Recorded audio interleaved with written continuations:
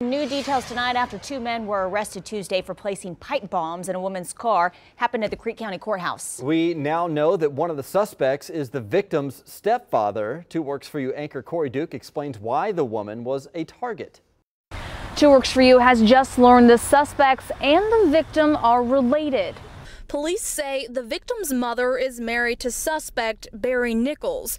The victim's mother also has custody of her children, which is why police say they were in court yesterday. Police believe an apparent family feud led to the incident after Barry and his son Christopher Nichols allegedly placed a homemade pipe bomb made with PVC, explosive powder, and BBs inside the victim's car. The victim's tires were also slashed.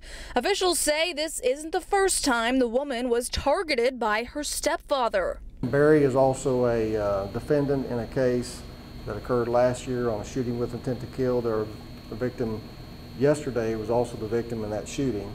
Both Barry and his son Christopher were arrested last night, and a search warrant found evidence of receipts detailing the purchase of items to make the pipe bombs. Police tell Two Works for You they conducted interviews with both suspects who confessed they were just trying to scare or intimidate the victim.